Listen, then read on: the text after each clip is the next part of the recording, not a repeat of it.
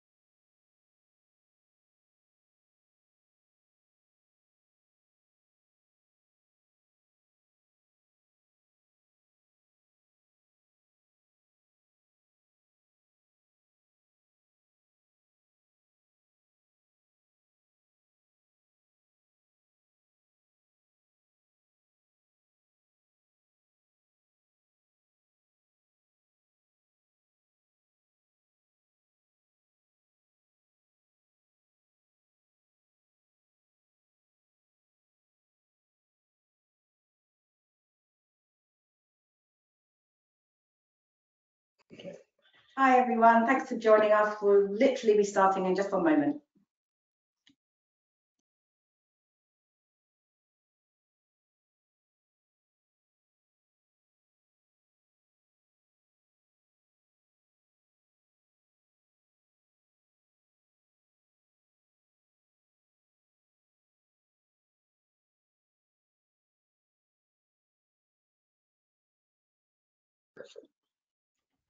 Good afternoon, everybody, and welcome to today's webinar, What's New in Business Central Wave 1.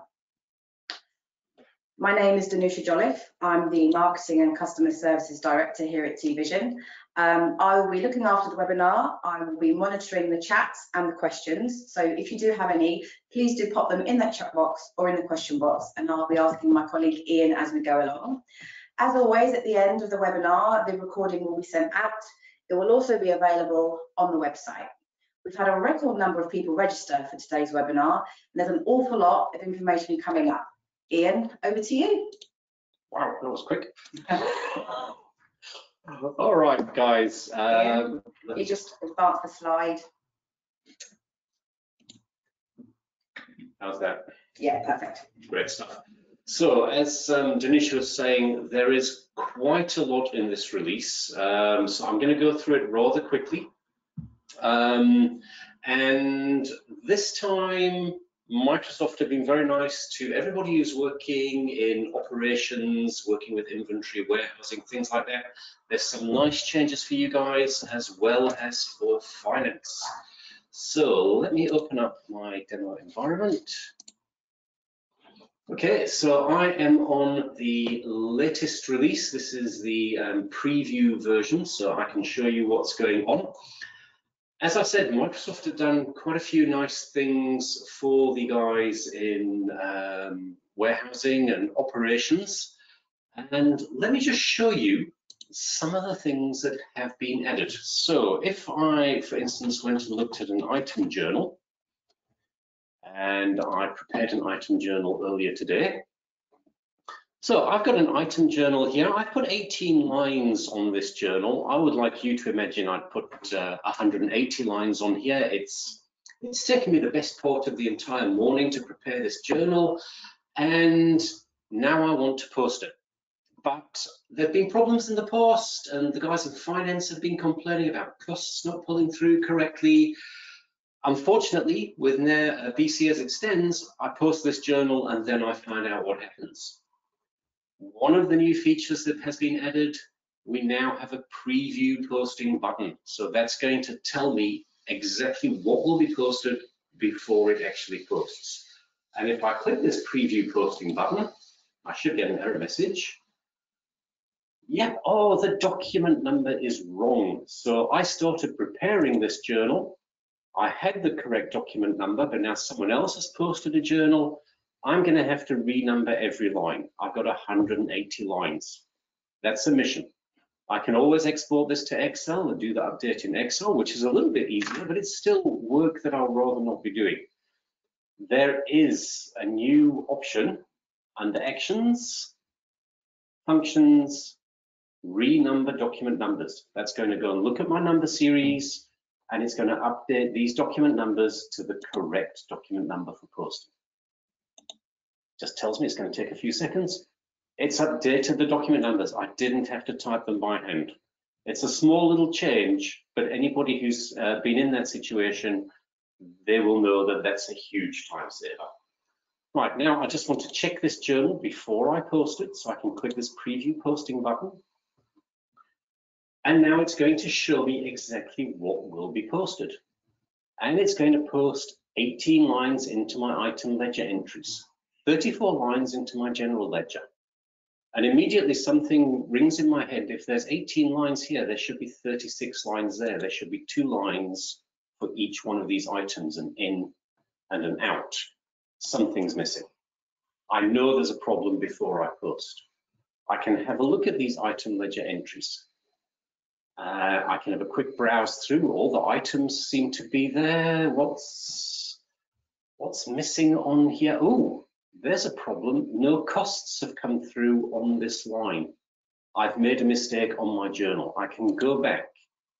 I can fix my mistake before I actually post the document. So this is the line. Yep, I forgot to put in the, the costs. Um, let's make those two pounds each. Now, if I go and do my preview posting again, before I actually post, let me double check. And again, it's gone through all the lines. Ah, now it's posting 36 entries in the general ledger.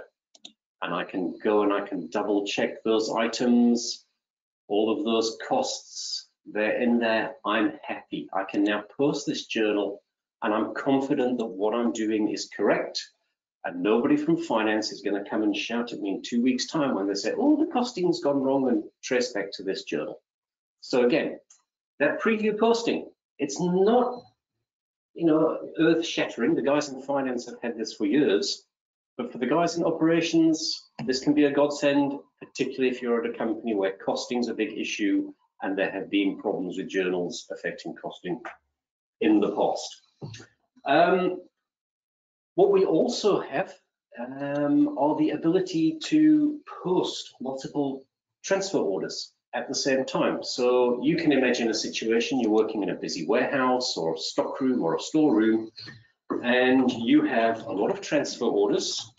Everybody's busy, they're doing their work, and at the end of the day, you come and you post all of these documents. Now, I've only got four documents here, but imagine, you know, busy warehouse, maybe you've got 100 documents. You would have to go to each one, post, ship, next one, post, ship, next one, post, ship. Really, that's a waste of your time. What we now have on the posting option up here, as well as having preview posting on transfer orders. So I can see exactly what this is going to do in the general ledger, on my item ledgers, in my value entries we also have a post batch option. So I can click on this and I can fill in some filters and say which ones do I want to post or I can select the ones that I want to post and just these two I think. And if I go to that post batch, it will fill in the filters for me. So it saves me the hassle of having to figure out what filter goes here. I could have selected all the ones that were released or all the ones that from the east warehouse to the west warehouse. I can put in lots of filters to choose and then I can click OK and ship.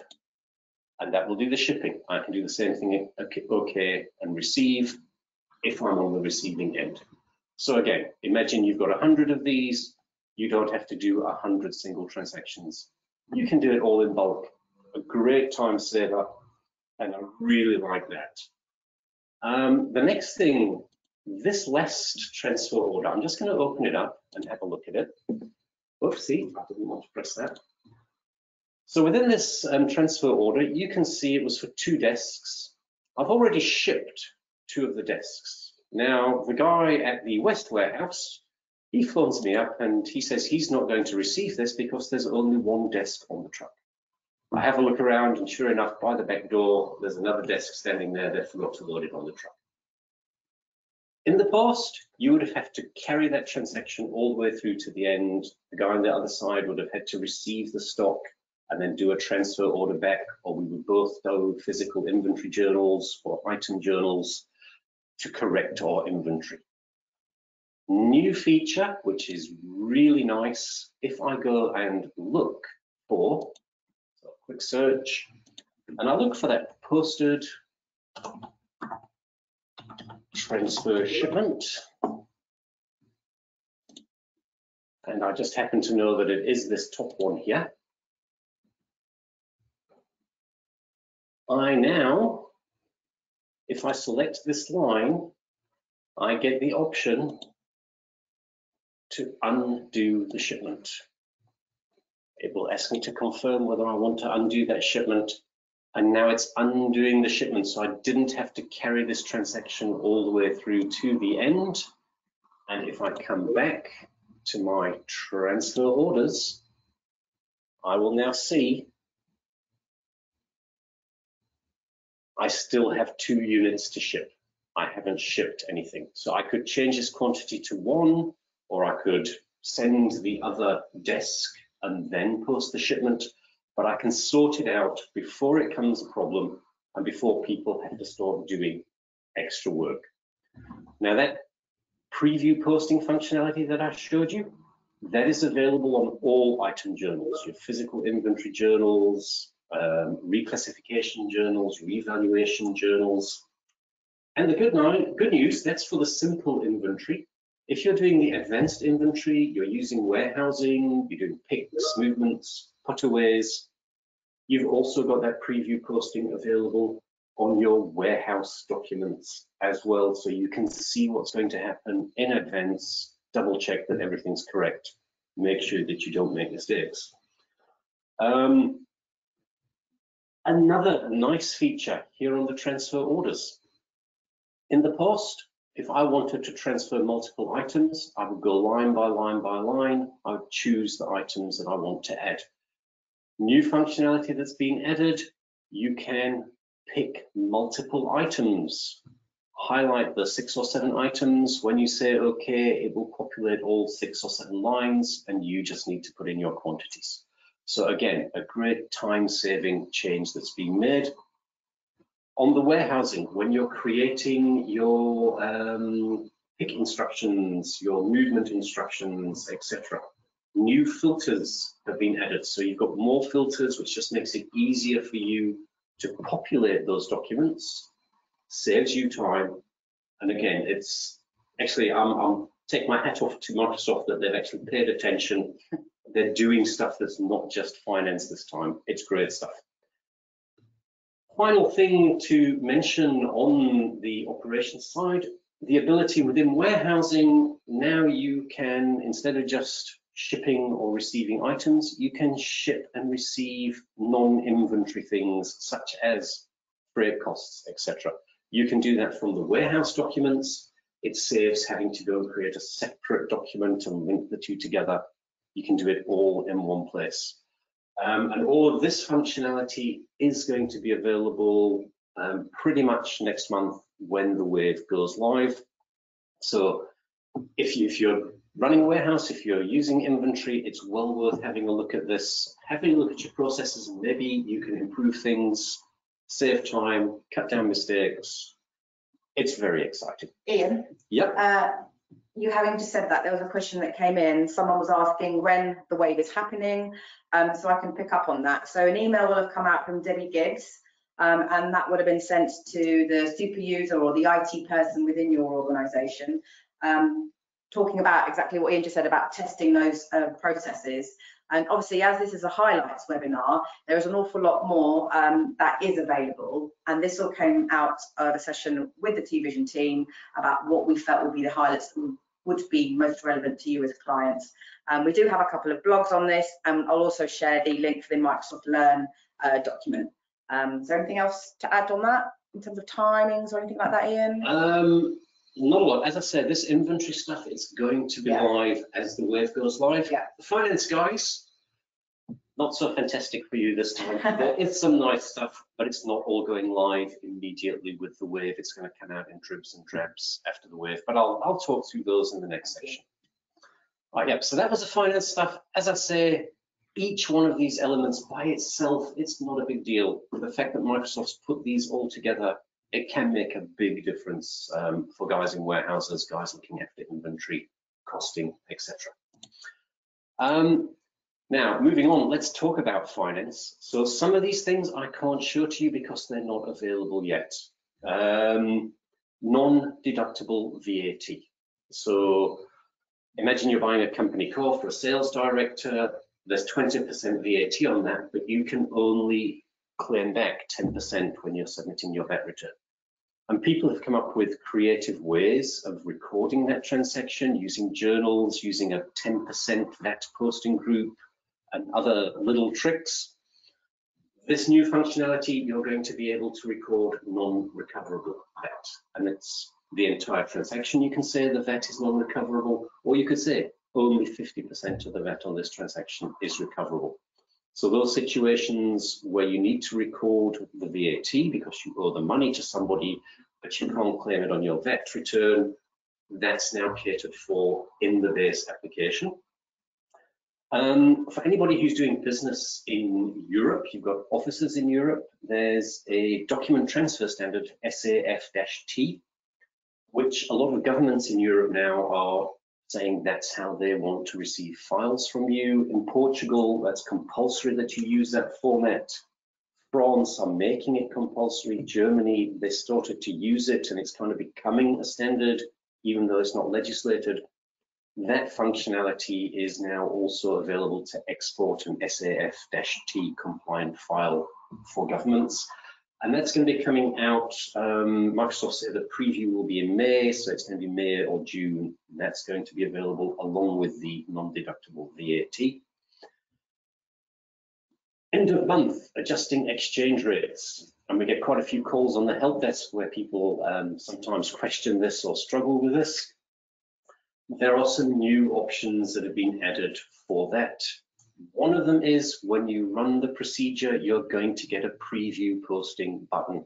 It's going to show you before you actually post it, what it's going to do to your GL accounts.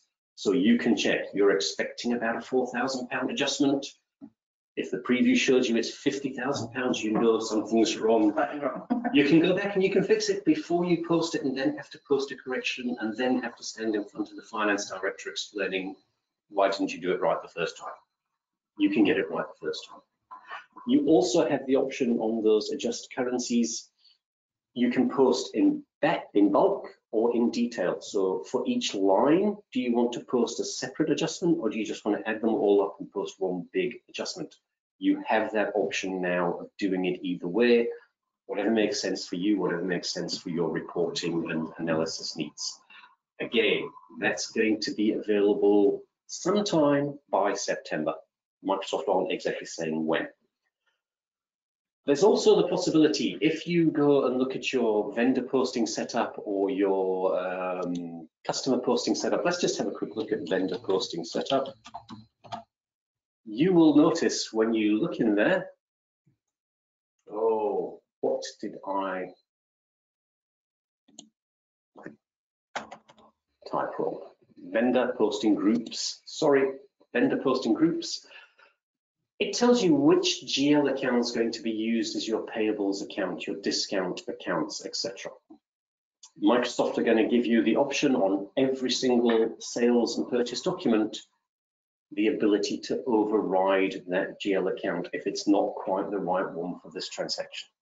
So if you had different ones for your EU, your foreign, your domestic, you bought something from someone who's always EU, but they happen to be able to ship it from a a UK warehouse, you'd be able to, on that transaction, change the GL account to match that it's a domestic purchase or a domestic sale, which is nice. It saves you going back, changing a customer, changing a vendor, posting a transaction, going back, changing to what they should have been. It's just a nicer way of doing things. Again, that's going to be available sometime by September, not exactly sure when. And then the next one And this one, I was really excited when I saw this. Doesn't just apply to guys in finance, this applies to everybody in the business. There is a new type of account that is available, a statistical account. So within statistical accounts, this is where you can record numbers. So I've set up two examples here, one for my head count, my number of employees, and another one for my office space, the number of meters squared um, that my office have. And I can post numbers in here with dimensions. So my head count, if I look at this, I've currently got 70 employees at this company. I can see I had 30 people in the admin department, 10 in production, 23 in sales, another four joined production, another 14 joined the admin, 11 people left the admin department. So I have a head count per department. That's nice. I've got the same thing for my office space. And again, I've split my office space up by department, how much space is being used by each department, and as people move offices, etc., I can change that square meterage that's been used per department. Again, that's interesting. But the really nice thing, if you go to your account schedules, which have now been renamed as financial reports, that was, I think, uh, the end of last year this change Yeah. was made. I think it was the last one, yeah. And if I just open any one of these reports, um, I haven't built a report for you guys, I'm sorry. Um, but this report, if I go and I change my row definitions, so, you know, I'm tweaking this report or creating a new report, as well as getting posting accounts and formulas and bringing budgets, etc. I'm getting the option now, I can bring numbers from those statistical accounts. So I could get income for my different categories with a head count, and I could do this per department and see what's my revenue per department, per division, per region, whatever dimensions I might want to put on there. And again, the same place if I'm doing, um, if I've got um, a shop and I've got shelves, how many meters of shelving for each of my departments, and I can do sales per meter of shelf and see which departments are performing well, which ones need more shelf space, which need less shelf space. Suddenly we can get this directly from the system instead of having to have separate spreadsheets, copying and pasting information and trying to do formulas to figure it out. We can have a built-in report that does this for us and it's part of our reporting pack at the end of every month. So these statistical accounts I think are going to become very useful if you have those, you know, sales per meter squared, sales per head count, sales per office, whatever it might be. Those type of reports that you develop, the statistical accounts will probably be very useful for you. And then the last thing that I want to show to you, this one's, it blew my mind when I saw it. I thought it was fantastic. Um, if I just go and have a look at um, any of my grid view type screens, if I look at my posted sales invoices, for example,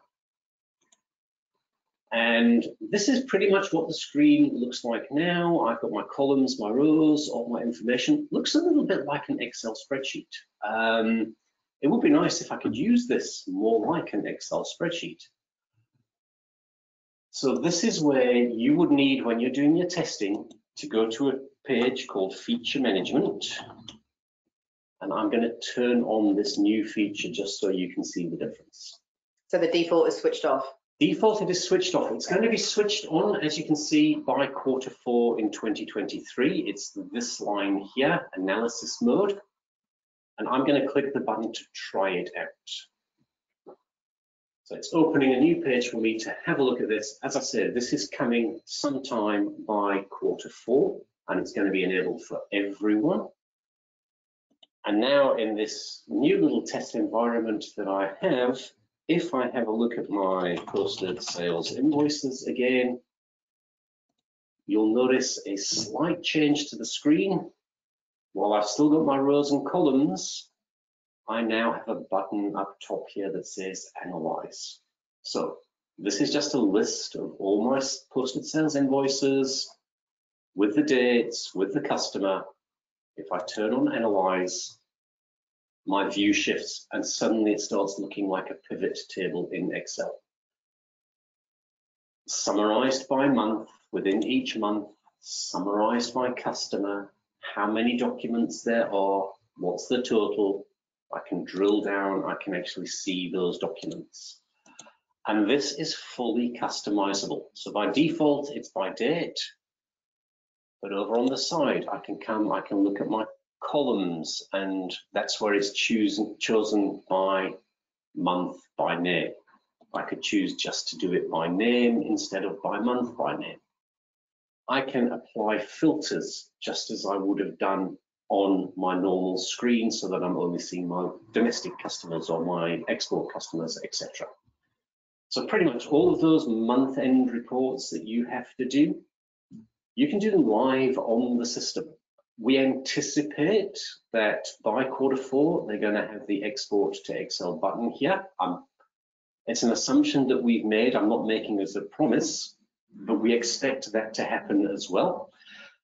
And quite apart from all of this, you get the ability to turn on pivot mode, which just gives you more options on how you can look at this screen instead of just looking at this um, boring old screen. I'll have to go back one screen. Oh, or did I leave it there? No. Get back to that boring screen. Yeah, instead of looking at this boring old screen, which is still useful, you now have this much more dynamic screen where you can pivot your data, you can slice it, you can dice it, you can look at a month, you can look at a customer group, see the totals, see the details, sort them in any order that you want. I think this is mind-blowing for the guys who are doing business analysts work um, and preparing month-end reports. It's probably going to be a godsend for you guys. There are quite a few more things which I haven't even had time to touch on. Um, some of the things, there are new localizations. If you're doing business in Africa, you've got an African office. There's localizations now for just about every African country, as well as smaller countries such as Liechtenstein, San Marino, etc., if you happen to have offices there. On all of the list pages now, more columns have become available. So stuff that's been hidden from you in the past, it's now you're able to put it on the screen and see what's going on. The um, intercompany postings, they've been tweaked. Um, they're going to get much better. Again, that's by September. That's going to go, go live. Um, and uh, there's an intercompany synchronization that's coming. We're going to test that. That's where you can change the GL um, of accounts in one company and mirror that change in another company, which sounds very exciting. We're looking forward to testing that one out.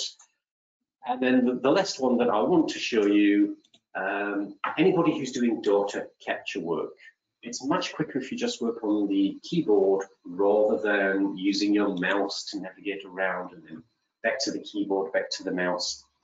So for instance, I'm using my mouse. Maybe I want to go to sales. I want to get to the sales invoices. When I get to sales invoices, I want to have a look inside one of them, see what's going on. Without using my mouse, if I press Alt, it shows me shortcut keys that I can press to get there. And I can start remembering these shortcut keys so to get to my sales documents, J, then S. Within my sales documents, A gets me to the um, invoices. I have a list of invoices. I want to look at the third one down. So it's down arrow, down arrow, press enter. I'm not using my mouse to navigate here. And while I'm on this screen, I want to see the statistics for this order when it finally opens. Again, I can press Alt. I can press I for invoice and S for statistics. I can look at the statistics. Yep, I'm happy with all of that. Escape, escape. Am I sure I want to exit? Tab, yes. I press enter, escape. I'm back to my home screen. You can do everything now without touching your mouse. For a lot of us, we like to use our mouse. Guys who are capturing orders, um, doing lots of transactions, keeping your fingers on the keyboard, it can just speed up your work so much. So well worth looking at that, seeing those shortcuts. Um, I don't have much time left, guys. Very briefly, a lot of these changes happen because people in the user community, people like you, suggest them to Microsoft. Yeah. If you think of an idea that you would like to see in a future release from within Business Central, click on the little um, question mark, help and support, and you get an option here, give feedback. You can follow this link, you can type in. It would be really nice if there was a button that did this on that screen. And then you can ask your friends, send them the link, say vote for this. The more votes it get, Microsoft more likely to make that change for you. So if you think of something that's a good idea, let Microsoft know. Um, they said that a lot of these changes they made this time came from feedback from the user community, people who pressed that button and made suggestions. So they do listen and it's well worth giving your suggestion there. That's all I've got time for. Um, but if you do have any questions, Danusha will tell you how to get in touch. I could just ask you just to go to that next slide, just to finish off. So uh, I appreciate their long links, um, but the two blogs there are on the TVision website and they also would have been included in recent uh, newsletters. And each of those blogs also points back to that really hefty Microsoft Learn section. So whilst Ian has covered a majority of the highlights, and again, this was all content that we felt as a team would be really useful to clients, um, it will all be in there. Um, so thank you so much everyone for attending today's session. We will also be running a What's New in Bevica session next week for our Bevica clients, for our drinks industry clients. Um, so thank you so much everyone for joining us today. Ian for presenting. The recording will be sent out in due course and will also be available on the website and also sent out in a newsletter in the next month or two. Thank you so much, everyone. Cheers, guys. Bye-bye.